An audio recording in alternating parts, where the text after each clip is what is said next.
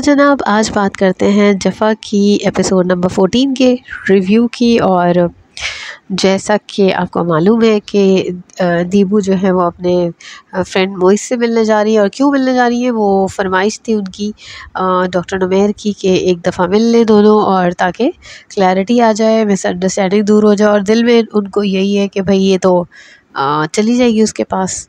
Insecure feel कर रहे हैं।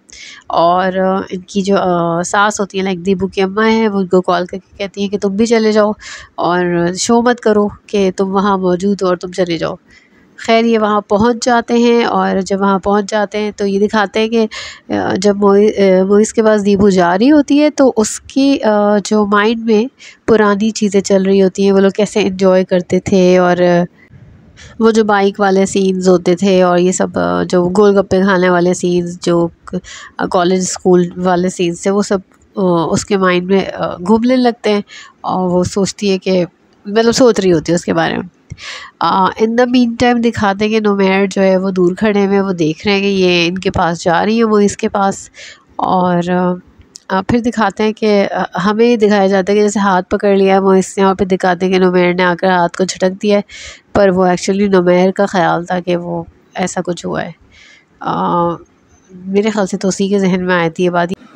खैर हाथ वाथ पकड़ने का कोई सीन नहीं होता लेकिन फिर वो इससे वो मिलती है और तो वो कहता है चलो अंदर जाके बैठते हैं अंदर जाके बैठते हैं। तो बिल्कुल बराबर वाली जगह पर नुमेर भी जाके बैठ जाता है। मतलब ऐसा पार्टीशन होता है कि इन दोनों को नुमेर नहीं दिखता।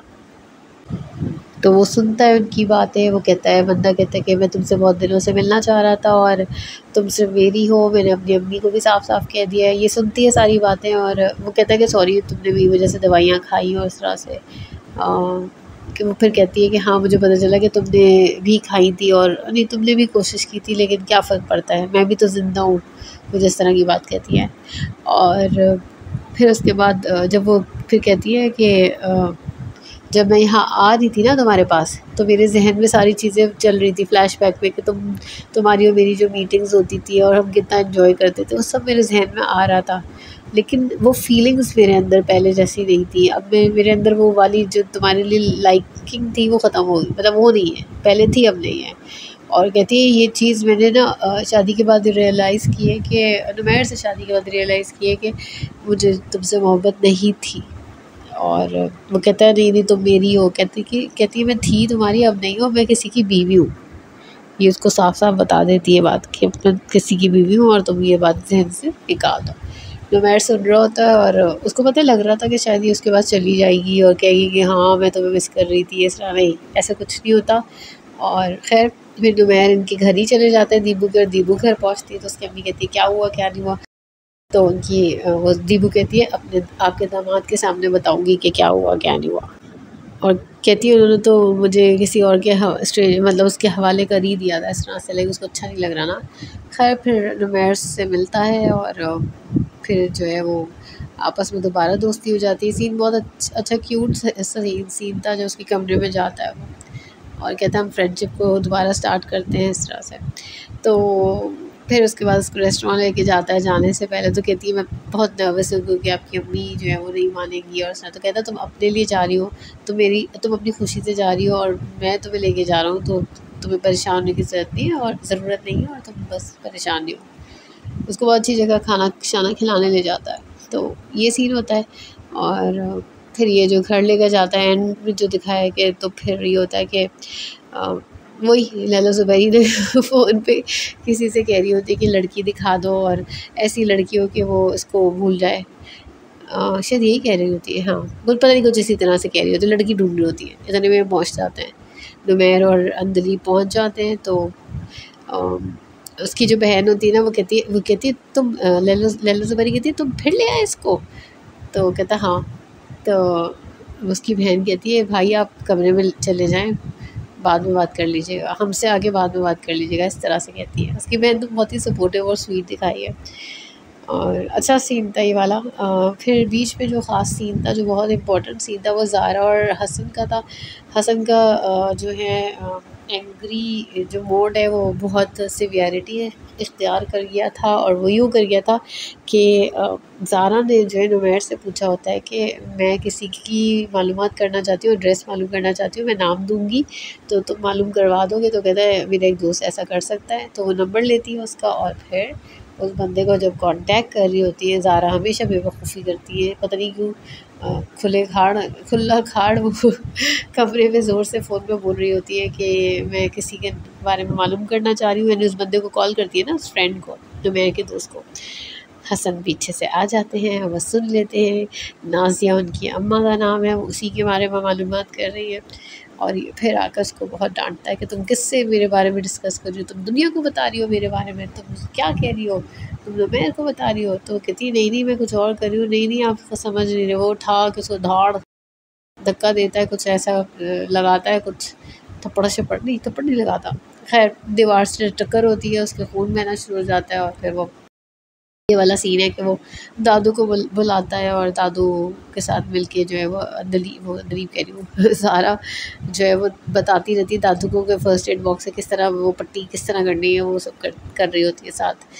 और फिर फाइनली ज़ारा जो है वो काफ़ी अब परेशान हो चुकी है। आजिज़ आ गई है इस आदमी से क्योंकि इसकी तो और उसके बाद वो कहता है सॉरी सॉरी सॉरी मुझसे मिस्टेक होगी नहीं नहीं, मुझसे मिस्टेक हो गई। इस तरह ना वो जो उसकी एक्टिंग होती है कि इतना कुछ करके भी वो कहता है, नहीं, मुझसे मिस्टेक हो गई, मुझसे मिस्टेक हो गई। खैर ज़ारा अपने फादर को और बुला लेती है, उनकी अम्मा भी आई होती है साथ और वो आते हैं। तो कहती, वो कहती है कि ये तो ये क्या हुआ तुम्हें? ये क्या किया है? मारा है उसने तुम्हें? तो कहती है हाँ लेकिन हम बाद में बात करेंगे। तो खैर अब्बा को बहुत इमोशनल हो रहे होते हैं, बहुत गुस्से में आ रहे होते हैं। तो कहती नहीं, बाबा, आप कुछ, अभी कुछ नहीं करी कीजिएगा। लेकिन वो गाड़ी में बड़ा मज़े का था, गाड़ी में बैठते हैं और गाड़ी से एकदम भागते हैं और फिर वापस हसन को जाके धाड़ धाड़ धाड़ सुना के आते हैं। वो खड़े के खड़ा रह जाता है कि मैं तो यही डिज़र्व करता हूँ और इस तरह से। मैं सोच रही थी, दादो दादो प्लीज़ बता दो, क्या मसला है? आखिर तुम अब जो आँखें टेढ़ी करती रहती हो तो ये कौन है? क्या मसला है? कहाँ है उनकी अम्मा हसन की? प्लीज़ बता दो, दादो, बहुत हो गया अब तो सस्पेंस तो अब यही रह गया ड्रामे में।